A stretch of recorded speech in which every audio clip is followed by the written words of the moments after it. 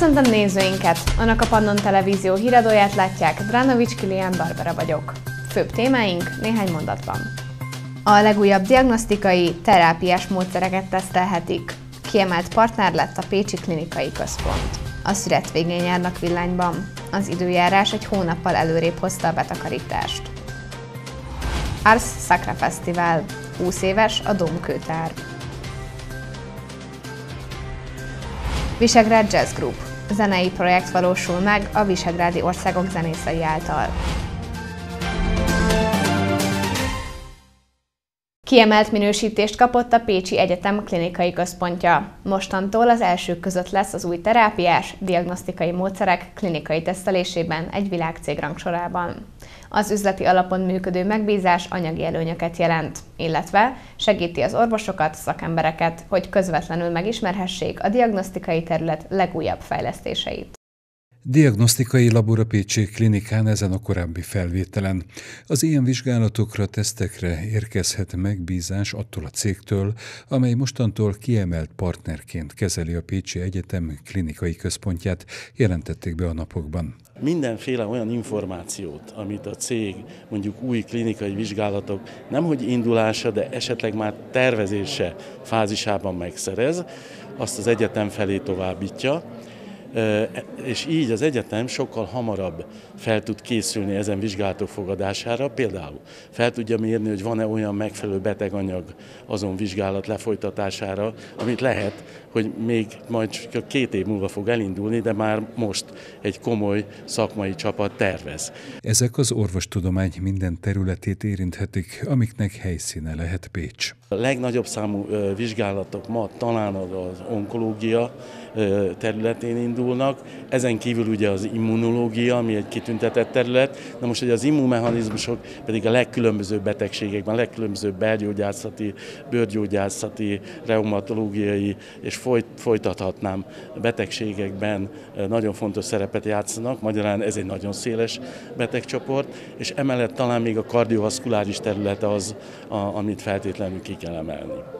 A molekuláris biológia, biokémia, genetika rengeteget fejlődött az utóbbi években, mondja a professzor.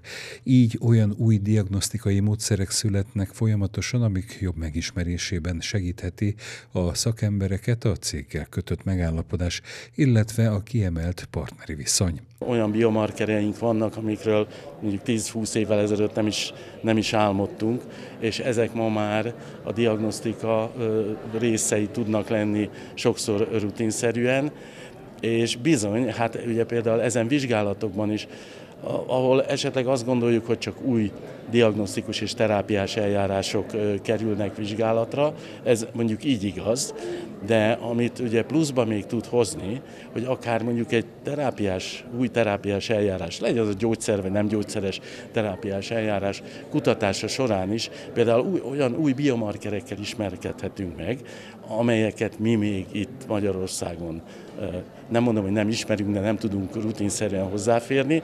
A megállapodásban résztvevő cég gyógyszergyárak, diagnosztikai berendezéseket gyártó társaságok megbízásából keres klinikai tesztelésre alkalmas helyszíneket, amiért pénzt kap az érintett helyszín. Így került be Pécs is, illetve emelték most az európai 19 vizsgáló helyszín közül a kiemelt kategóriába az egyetem klinikai központját. Az utolsó fürtöket gyűjtik be villányban, gyakorlatilag a szüretnek vége, mondja a Tenkes hegyközség elnöke. Az idei évben már szeptember közepére begyűjtötték a bogyós gyümölcsöket. A napsütés, a hőség felgyorsította az érési folyamatokat. Szüretelik a szőlőt a villányi borvidéken csütörtökön. A hegyközség elnöke, a birtok tulajdonos azt mondja, a korábbi években ilyenkor kezdték ezt a munkát. A dátumot nézzük, a naptárat nézzük, régebben ilyenkor tehát kezdődött a szüret, most viszont már a végén tartunk, kaberné szavonyonokat, franokat szedjük helyenként, egy kis merló is kint van, de egyértelműen az utolsó fázisba lépett a szüret most már. A szakember azt mondja, nagy kihívások elé állította őket ez az év. Az asszály meg a nagyon erős napsütés megtette a hatását, elég kis termésmennyiségek kerültek be a pincébe, olyan 70-80 százalék helyenként 50 százalék csak, mint a tavalyi termés mennyiség. Ez nagy mértékben függ a, a termőhelytől, fajtától, melyik mennyire volt érzékeny. Nagyon magas mustfokkal értek, itt az asszály is, nem csak hogy a, cukorképzés, hanem a koncentráció miatt is ez fokozottan megjelent, még helyenként szintén kényszerírett szőlő, hogy nem volt tökéletesen érett, de, de a, a töppedés miatt a cukor azért extrém magas volt. Épp hogy Szabó István szerint a megszokott munkaritmust borította fel az időjárás, illetve a hőséggel a feldolgozásnál is meg kellett küzdeni. A borkészítésnél a, a hideg energia az nagyon fontos, tehát le kell hűtenünk a mustot, a cefrét is, az eredés hőt termel, és annak az elvezetéséről is gondoskodni kell, tehát a meglévő hűtési kapacitások nagyon-nagyon vékonyan voltak elegendőek, osztani kellett a tartályok között az energiát, hogy melyik mennyit kap. Úgyhogy a tér is sok helyen kevés volt, az erjesztő tér, ugye van egy megszokott ritmusunk, a, a fajták egymás követik az erjesztés folyamán, és most minden összeér gyakorlatilag. Tehát lehet, hogy valaki szedte volna a szőlőt, mert szedni kellett volna már, borász megítélés alapján, viszont nem volt hozzá erjesztő tér, várni kellett a szürettel. Erre nem voltak felkészülve a borászok. A kapacitások bővítése nagyon sokba kerülne, mondja a borász, aki szerint ennek ellenére finom italokat kóstolhatnak majd az idei termésből a fogyasztók. A meleg idő, száraz idő azért összességében nekünk sokkal kedvező, mint egy csapadékos, hűvös év. Tehát jó borok fognak készülni, sok kihívás volt borász szemmel, de fogyasztói oldalról nézve nem lesz az égvilágon semmi gond az évjárattal, tartalmas, koncentrált, nagyon szép borok, még jó sav is meg lesz így ennek kapcsán, koncentrálódott minden benne, úgyhogy reménykedve tekintünk előre az új borokra. Még nem tudni pontosan, hogy mekkora mennyiséget gyűjtöttek be a szőlős gazdák a bogyós gyümölcsből. A számokat most várják, Ipagy Szabó István szerint azonban nem kell aggódni a mennyiség miatt, mert vannak tartalékok a pincékben az előző évekből. Ráadásul az adatok szerint visszaesett a borfogyasztás hazánkban.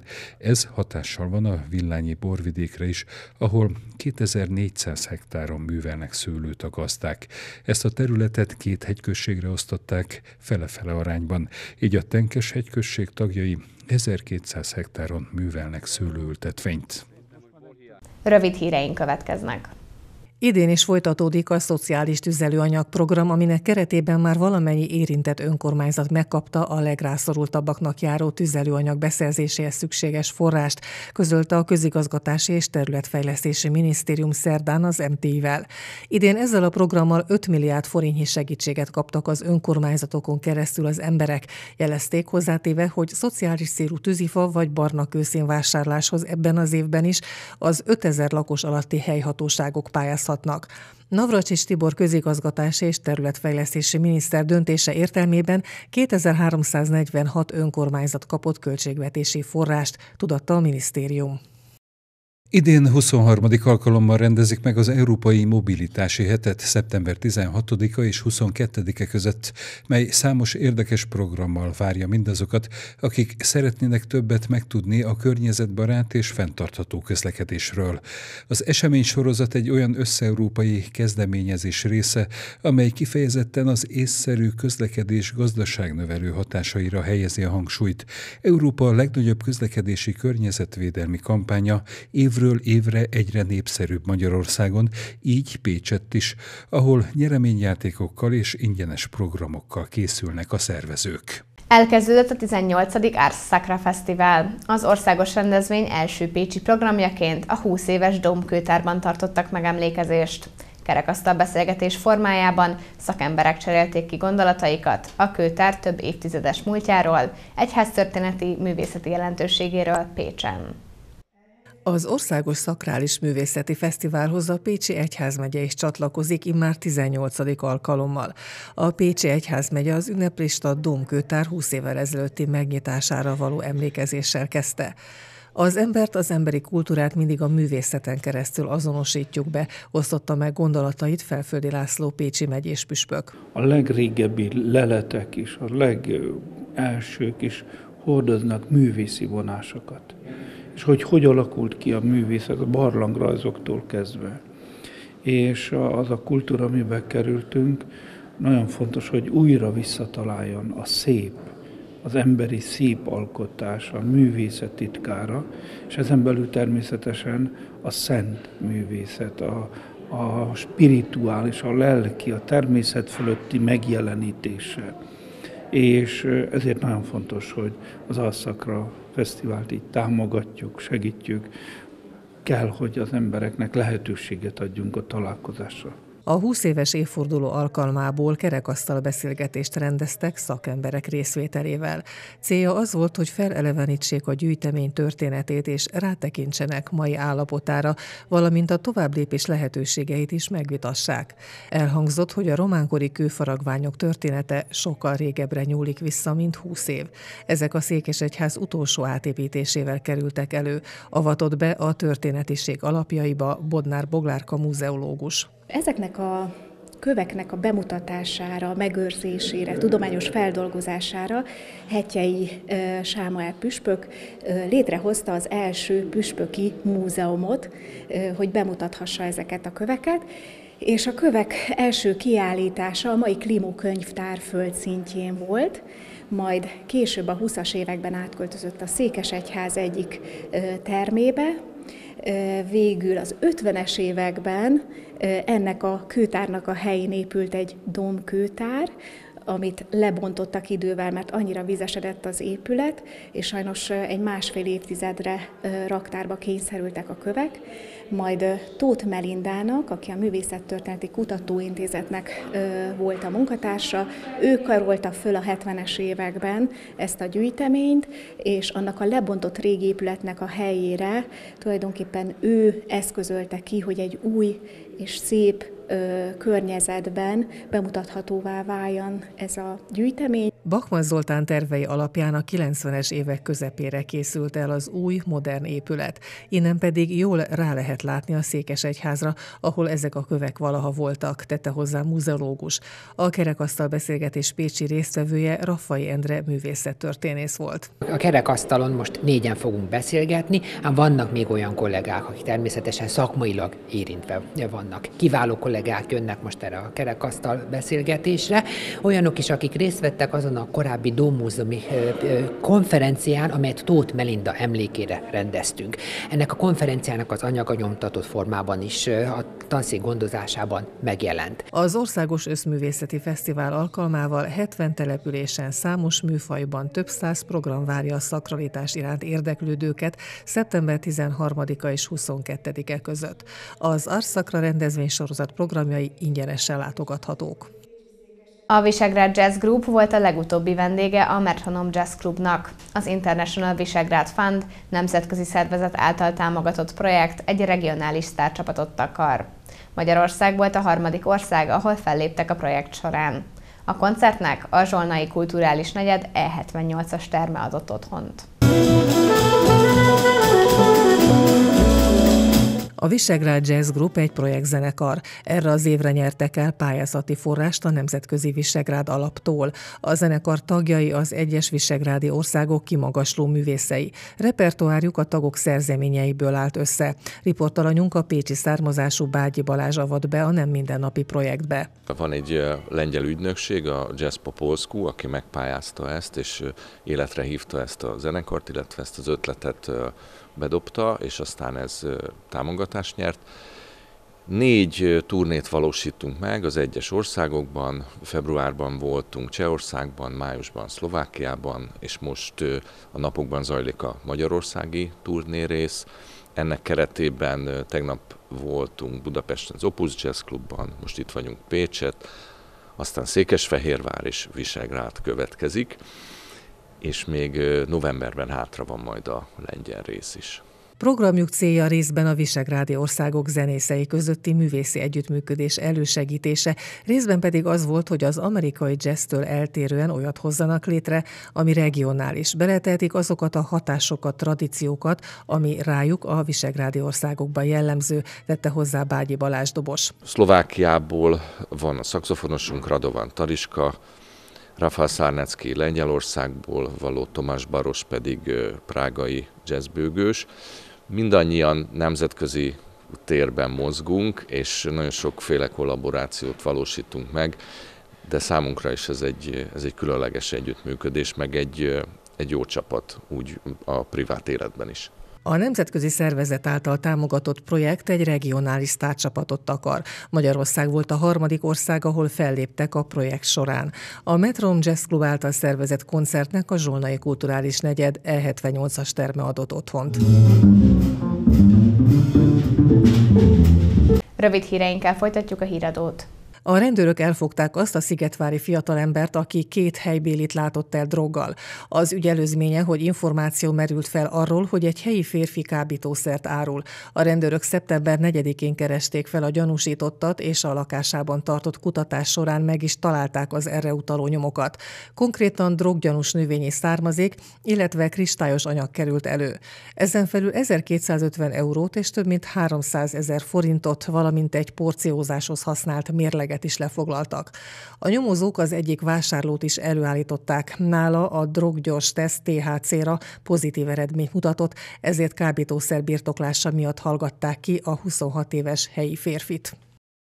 A NAV baranyai munkatársai szeptember 16-a és 22-e között hétfőn Pécset a Magyar Ürögi úti üzleteket, kedden Komlón, a Körtviesi városrész boltjait és vendéglátó helyeit, szerden pedig Pécset a Hungária utcai, illetve a Szigeti úti vendéglőket ellenőrzik. A revizorok megjelenésére számíthatnak továbbá a Pécsi Napok rendezvény árusai is.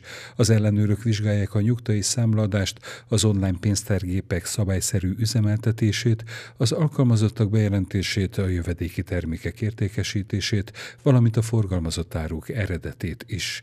A Vármegye ipari parkjaiban és nagykereskedelmi bázisain a hét bármely napján megjelenhetnek a hivatal munkatársai, ahol a dolgozók bejelentését és a foglalkoztatás egyéb szabályainak a betartását ellenőrzik. A régió híreivel folytatjuk. Nem szezon hosszabbításra, hanem elkülönülő szezonokra van szükség a Balatonnál. Erről is beszéltek a turisztikai szakemberek a Balaton összödön. A Visit Balaton 365 ezer indok az őszi Balaton mellett címmel meghirdetett őszi kampányitójára az egész országból érkeztek újságírók, akik testközelből is megtapasztalhatták azt, hogy miben nyújt mást a szeptemberi Balaton, mint a nyári. A szezonon kívül is van élet a Balatonnál, amíg nyáron a strandolás és a fürdőzés a legkedveltebb tevékenység a turisták körében, addig a többi évszak az aktív kikapcsolódásról szól a tónál. A Visit Balaton 365 azt fejezi ki, hogy mindenkit vár a Balaton az év 365 napján, az az alapgondolatunk, hogy bár a Balaton elsősorban egy nyaralóhely, de izgalmas, tartalmas programokkal várja a vendégeket ősszel, télen és tavasszal is. Ennek megfelelően próbáltuk összegyűjteni az ajánlatokat, a nyitvatartó szolgáltatókat, és ezeket a weboldalon megmutatni az embereknek. A turisztikai szakemberek az elmúlt években azon dolgoztak, hogy négy évszakossá tegyék a magyar tengert, ehhez azonban kellettek a helyi vállalkozók is. Rá sem lehet ismerni mostani Balatonra az 5-10-15-20 évvel ezelőtti Balatonhoz képest. Abban az adatbázisban, amit a visitbalaton365.hu oldalunkon megtalálnak a látogatók, közel 1500 szolgáltatót találnak, közöttük szálláshelyeket, vendéglátóhelyeket és négy évszakos attrakciókat. Én úgy gondolom, hogy ez egy egyedülállóan gazdag kínálat, kulturális programokkal, gasztronómiai programokkal, szabadidős sporteseményekkel, teljesítménytúrákkal, zenei programokkal, mindenki megtalálja a magának valót. Nem szezon hosszabbításra, hanem elkülönülő szezonokra van szükség a Balatonnál, erről is beszéltek turisztikai szakemberek Balatonöszödön. Egyre nagyobb szükség van arra, hogy az emberek relaxálódjanak, és ne csak nyáron nyaraljanak, hanem az év többi részébe is egy pár napra kiszakadjanak a mindennapokból, hogy egy picit feltöltődjenek, hogy egy picit olyan tevékenységet is tudjanak folytatni, amit a mindennapokban, a munka mellett, az iskolai időszakban nem lehet. A Balaton erre tud egy ideális helyszín lenni, hogy minden egyes évszakban külön programokat adjunk, külön lehetőségeket adjunk, és mi most itt a Vízi Balaton 365-tel ezen dolgozunk, hogy ez teljesen össze legyen fogva. Egy platformon meg lehessen nézni, hogy kik azok, akik nyitva vannak, milyen programot adnak, milyen lehetőségek vannak, akár sportolás szempontjából, akár programok szempontjából, akár gasztronómiai programok, A Visit Balaton 365 ezer indok az őszi Balaton mellett címmel meghirdetett őszi kampányához borászok és étterem tulajdonosok is csatlakoztak. Én azt gondolom, ez mindenképpen nagyon jó, hogyha össze tudja fogni a, a Balaton körül a borász társadalmat, illetve a vendéglátó társadalmat, és egy kicsit megrázza azt, hogy, hogy igenis tényleg télen, ősszel van le jelentősége annak, hogy vendégül lássuk vendégeket. Persze egy, ez egy adok-kapok dolog, vendég nélkül nem működik a vendéglátás, tehát nagyon fontos az, hogy reklámozzuk azt, hogy, hogy tényleg vannak nyitvatartó vendéglátóhelyek, vannak borászatok, ahol lehet időpontot foglalni, vagy állandó nyitvatartással van, és ezeket meg lehet látogatni. A cél, hogy az év minden hónapjában érdemes legyen ellátogatni a Balatonhoz. Ehhez kínál programokat, kikapcsolódási lehetőségeket az új honlap. Az őszi kampánynak a weboldalon keresztül maguk a szolgáltatók is aktív részesei. Az idei szüret munkálatai a Szexárdi borvidéken is a szokásosnál jóval korábban, két héttel előbb kezdődtek. A tavalyi évben peronoszpóra járvány nehezítette meg a borászok dolgát, idén pedig a rendkívüli asszály jelentett kihívást. Bősz Adriánt, a Szexárdi borvidéki tanács elnökét kérdeztük az eredményekről. A nyári asszály új kihívások elé állította a bortermelőket. A nagy hőség miatt a bogyók egy része lényegében teljesen kiszáradt. Aki tudatosan és hosszú távon gondolkodik, és, és tudja, hogy a, és van lehetősége a szőlőnek az altalajának a szület utáni lazítására, ugye ők azért a téli csapadékból, hogyha van télen szép csapadékmennyiség, akkor viszonylag sokat le tudnak engedni a talaj rétegeink alsóbb közeti rétegébe, és itt a nedvesség valamilyen szinten azért tározódik, a szőlőnek mélyrehatol a gyökere, és azért hozzáfér a nedvességhez. A tapasztalat azt mutatja, hogy a pincékbe eddig beérkezett szőlő és az elkészített új bor jó minőségű kétségtelen, hogy, hogy sokkal korábban el kellett kezdeni a munkákat, és, és oda kellett nagyon figyelni, tehát hogy azért nem árt, hogyha az ember méreti a paramétereket, pH-t, savat, mustfokot, és akkor egy kicsit tudatosabban kell borászkodni. A szüret idén igencsak besűrűsödött, sokfajta egyszerre érett be. Ugye voltak olyan fajták, ahol a készítendő bor inkább a technológiai érettséget követelte meg. Egyébként itt vannak lényegében a legszebb paraméterek az elkészült borokba. A, és ugye kicsit egymáshoz is közelebb tolódtak ezeknek a fajtáknak a szüreti időpontjai, tehát egész egyszerűen a, a szőlő így tudta ezt a szárasságot lereagálni, mert ugye nyilván a növénynek az elsődleges funkciója a túlélése. Az idei év sem volt tehát kihívásoktól mentes a borvidéken, a szakemberek számára fontos volt a megfelelő tervezés. Idén Magyarország 20 éves Európai Uniós csatlakozását ünnepeljük, ebből az alkalomból pedig az ország több pontjára szerveztek plakátkiállítást. Szexárdon a Kórház rendelőintézete mellett húzódó kerítésen lehet megtekinteni egy-egy sikeres uniós fejlesztést, amivel felhívják a figyelmet csatlakozásunk fontosságára. A helyszínválasztás a buszmegállóban várakozóknak is lehetőséget nyújt hasznosan eltölteni az időt, megtekinteni a képeket, amelyeknek a rendeltetéséről beszélt nekünk Dombai Szilvia, a Europe Direct Tolna vármegyei irodavezetője. Magyarország kilenc másik közép-kelet-európai országgal együtt 2004. május 1-én csatlakozott az Európai Unióhoz, és ennek apropóján az Európai Bizottság Magyarországi képviselete a Europe Direct hálózattal együttműködve egy plakát kiállítás keretében szeretne megemlékezni erre az évfordulóra fordulóra és erre az eseményre. És a plakátkiállítás célja az az, hogy Magyarország különböző vármegyéiből 20 darab olyan fejlesztési projektet mutat be, ami egyrészt a hétköznapi élet, másrészt a gazdasági életnek az egész széles spektrumát fedi, és tulajdonképpen ezzel szeretné egy kicsit a polgárokban erősíteni az Európai Uniós polgárságnak az érzését, és bemutatni azt, hogy milyen sikeres fejlesztések valósultak meg. A Vármegyében megvalósult Agora projekt plakátját is megnézhetjük, ha elsétálunk a rendelő intézet előtt. Természetesen Tolna Vármegyében sem ez az egy sikeres projekt van, ez a kultúra területét fedi le, de itt is azért az élet különböző területeiről találhatunk projekteket. Az elmúlt 20 év alatt több mint 371 milliárd forint értékben valósultak meg különböző EU-s támogatottságú projektek. A plakátok remekül szemléltetik, hogy az országban minden területen megvalósultak fejlesztések, mondta a Szexádi Kórház igazgatója. 20 éve vagyunk az EU tagjai, és ennek alkalmával szeretnének 22 kiemelt projektet bemutatni itt plakátok, amit elsőre nehezen tudtam elképzelni, mert már van szép nagy kerítés felületünk, de hogy mégis hogyan kerülnének ezek ide ki. És elmondták, hogy kb. milyen projektekről van szó, hogy az ország minden részéből szedtek össze plakátokat, van benne Tolna megyé, van benne Szexárd is, hál' Istennek, és hát itt lesz ez most egy pár hónapig, reméljük, hogy épségben, egészségben, az időjárási viszontagságot biztos, hogy bírni fogja, a többi viszontagságot meg megpróbálunk rá vigyázni.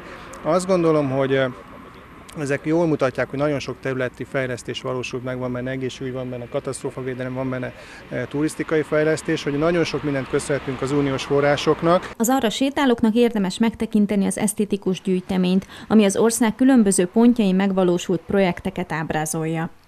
Híradónk végén baranyai témáink, még egyszer, röviden. A legújabb diagnosztikai, terápiás módszereket tesztelhetik.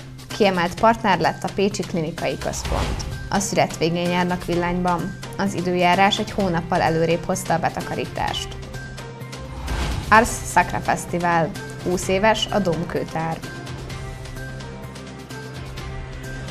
Visegrád Jazz Group. Zenei projekt valósul meg a visegrádi országok zenészei által. Szombaton marad a felhős borongós idő, több felé várható eső, zápor. Vasárnap sem várható számottevő változás, folytatódik a többnyire felhős, esős időjárás, helyenként kiadós csapadék várható. A Dunántúlon az északnyugati szél viharos lesz, a hőmérséklet hétvégén reggelente 9 és 11, a legmelegebb órákban 12 és 14 fok között alakul. Friss hírekkel legközelebb hétfőn este jelentkezünk. Mára köszönöm figyelmüket, viszontlátásra!